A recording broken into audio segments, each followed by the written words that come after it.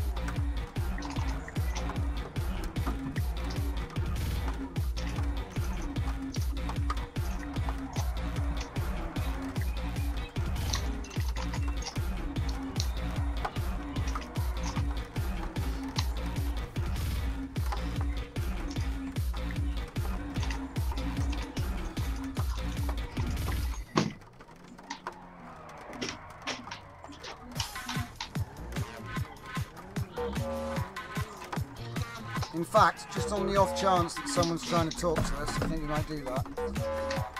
You little